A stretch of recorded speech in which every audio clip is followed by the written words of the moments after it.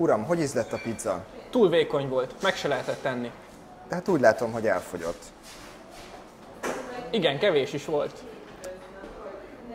Valószínűleg azért, mert maradt még egy kukorica.